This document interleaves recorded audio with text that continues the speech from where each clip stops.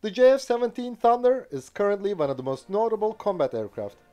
But of course, it is not noteworthy in a similar manner as the F-35, Eurofighter Typhoon, or Rafale, or even with its main rival, the Tejas. So what makes this aircraft matter? As the weapon detective, we're now investigating the JF-17 and seeking an answer to this question.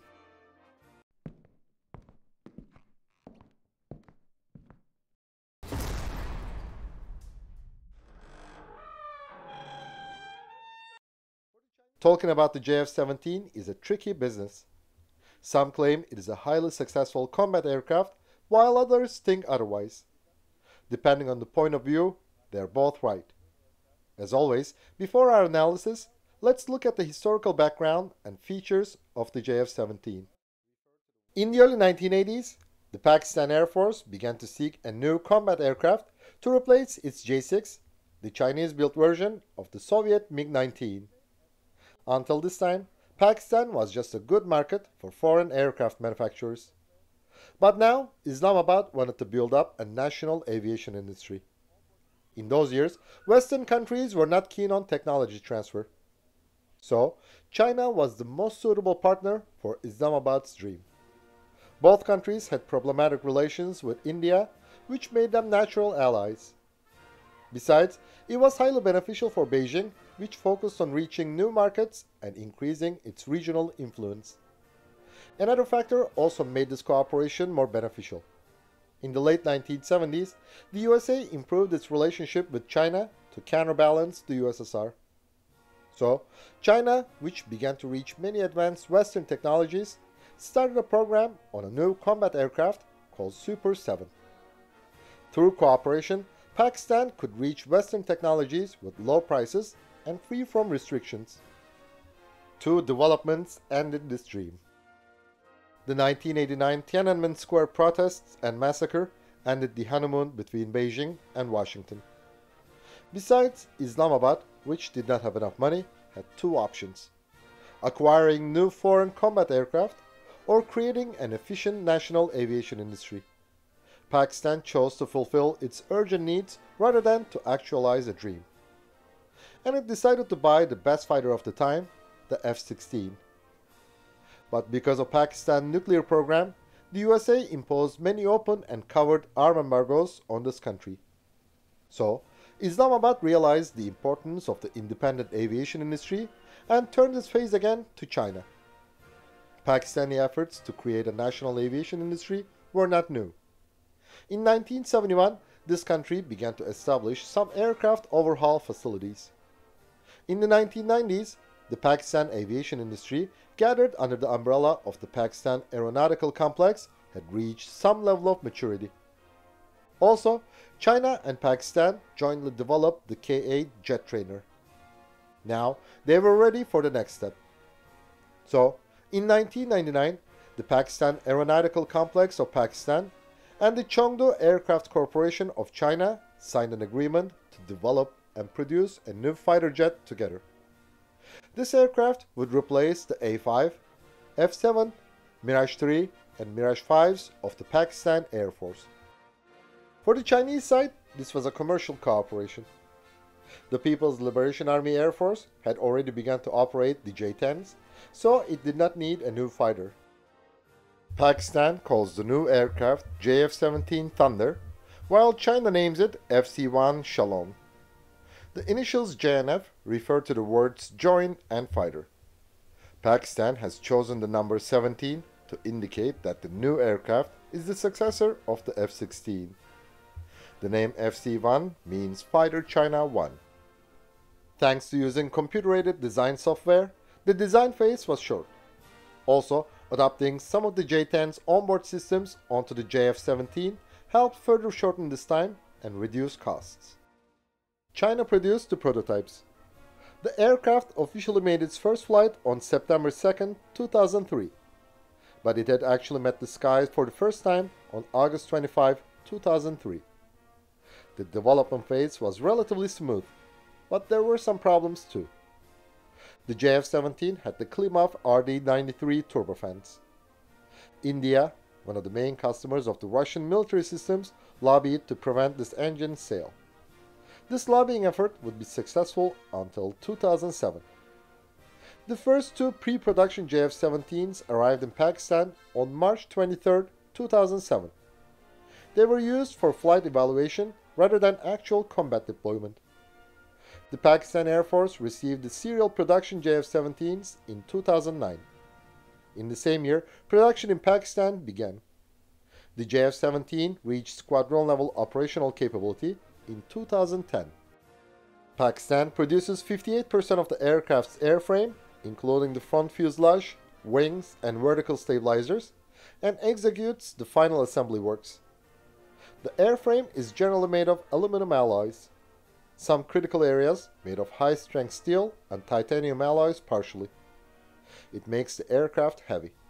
So, if we look at the Block 1 variant, we may say that the JF-17 is a third plus generation aircraft rather than a fourth generation due to production materials. Its fly-by-wire flight control system is also primitive to some degree.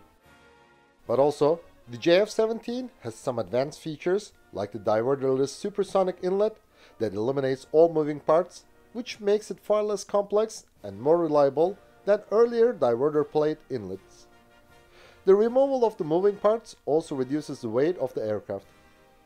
Although Pakistan initially intended to equip the aircraft with a Western radar, the JF-17 is equipped with the KLJ-7 radar, a miniaturized version of the KLJ-10 of the J-10s.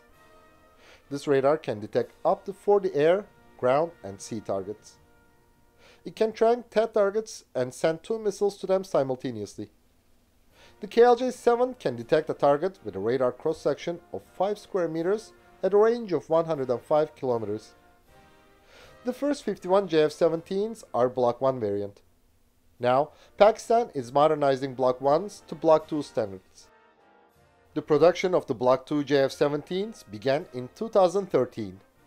This variant has aerial refueling capability and a more advanced avionics and electronic warfare suite. The use of composite materials reduces the weight, which increases the payload. But there is a price to pay for everything. These enhancements make the aircraft nearly twice as expensive. The Block 3 variant has the KLJ-7A active electronically scanned array radar, helmet-mounted display, more advanced Western avionics, 3-axis digital fly-by-wire flight control system, and an infrared search and track system. Besides, it is equipped with the advanced infrared missile warning system used in the J-10C and J-16. The use of composite materials is increased. It has the more powerful WS-13 turbofan. By reducing the weight and increasing the power, the Block 3 variant can reach a maximum speed of Mach 2. The WS-13 has better reliability than the RD-93. Also, unlike the current engine, it has no smoke problem.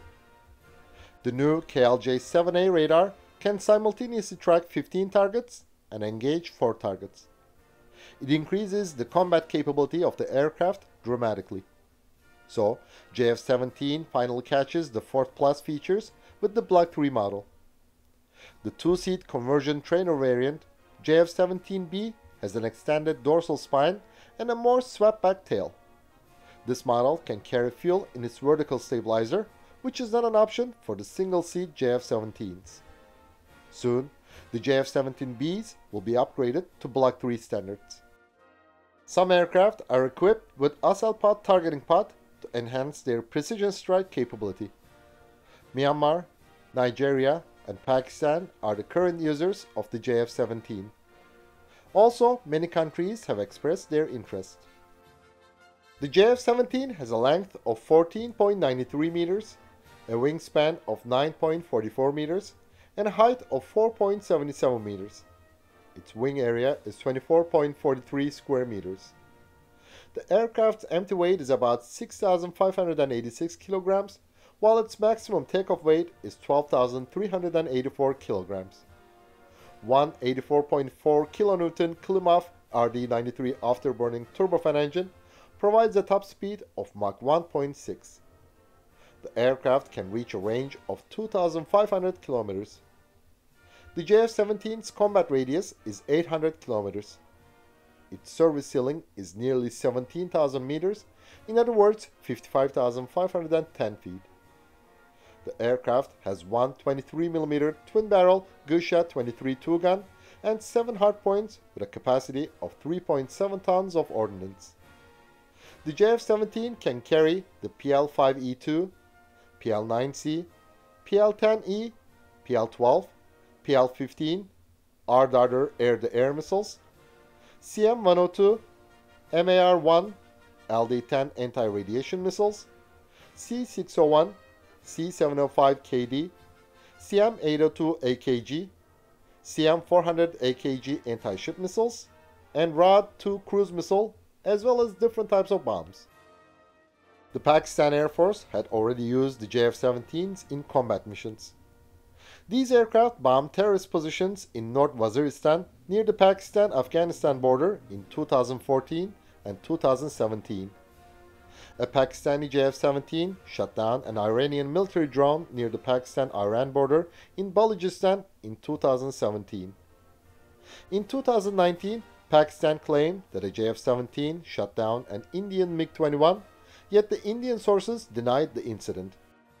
As mentioned before, the previous variants of the JF-17 barely fulfilled the conditions to be a fourth-generation fighter.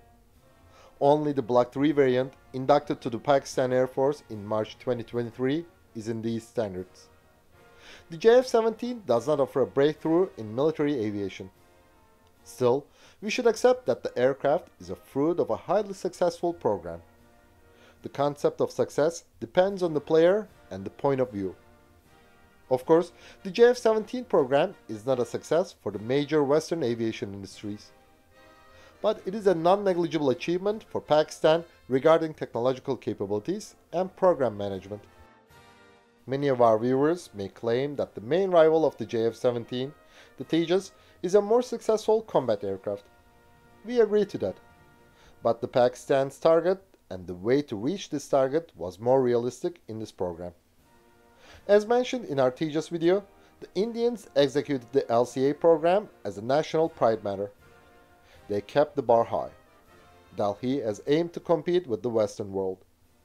But the urgent needs of the Indian Air Force forced India to acquire the Rafales and Su-30s. On the contrary, the Pakistanis focused on the needs and chose a more pragmatic way. They needed a simple aircraft to replace the obsolete second and third generation combat aircraft. The aim of Islamabad was not to prove itself against the former colonial powers of the West a fighter which could fly decently and fire modern missiles, was enough for the Pakistanis. They were open to working with other countries. It was just a business, not a national pride matter.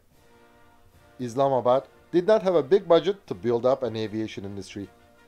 It would have to be cheap to achieve this dream. And Pakistan managed to keep the budget low. Thanks to the Joint Development Program, Pakistan enjoyed the Chinese co-financing. India and Pakistan have different threat perceptions. India has to deal with both China and Pakistan. But Pakistan has no true enemy other than India. And the wars in 1965 and 1971 showed that India had no intentions to invade Pakistan. So, a simple aircraft is enough for Pakistan's interests. The Pakistanis have improved the JF-17's capabilities block by block. The combat capabilities of the Block 3 variant will be enough to fight against the other 4th and 4th plus combat aircraft. On the contrary, India has always felt the threat of invasion by great foreign forces. The Indian Air Force needs advanced combat aircraft to prevent this apocalyptic scenario. India cannot follow the way of Pakistan. Besides, as mentioned in our many other videos, many countries need low-cost simple fighters rather than fifth generation ones. This market is easy and profitable for a new aviation company. To compete with big players like the USA, Europe or Russia is not wise for a beginner. Thanks to the joint development program, Beijing's influence helped find new customers for the JF-17 in the international market. Pakistan may never have succeeded in selling the aircraft alone.